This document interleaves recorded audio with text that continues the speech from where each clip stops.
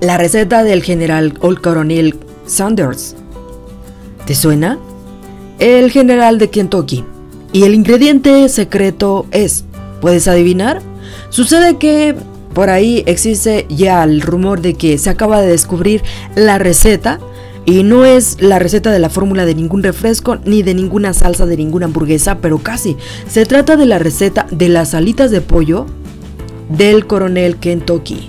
La información es tan secreta que la empresa afirma que está guardada en una caja fuerte de 320 kilos, rodeada por una pared de concreto de 60 centímetros y monitoreada por cámaras de seguridad y detectores de movimiento. Sin embargo, en este caso la filtración no proviene de un hackeo o de un grupo de comando que logró dar con la receta original.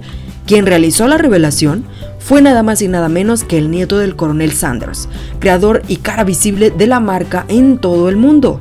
Sucede que en una entrevista, el nieto del coronel Sanders, pues sucede que sucedió un error que no estaba planeado. Todo sucedió en el marco de una entrevista de Jay Jones, un periodista de Chicago Tribune que viajó a Kentucky para visitar el pueblo donde el hombre de la barba sirvió sus alitas por primera vez. Allí fue recibido por Joe Leddington, nieto de Sanders, quien le mostró al reportero un álbum con recortes familiares que contenía, entre otras cosas, el testamento del coronel y los ingredientes con los que se realizaba la receta de las famosas alitas. Estas son las 11 especias que se supone que son tan secretas, le dijo el nieto al periodista. El componente principal es pimienta blanca. Así como lo escuchas, ese es el ingrediente secreto ya que durante los 50 nadie sabía qué era ni cómo utilizarla, añadió.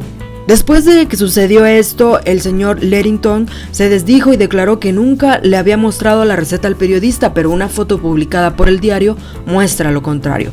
Por su parte, la empresa, que en el pasado ya demandó a varias personas que decían haber dado con la receta, afirmó que los ingredientes provistos por el nieto no corresponden a la fórmula auténtica.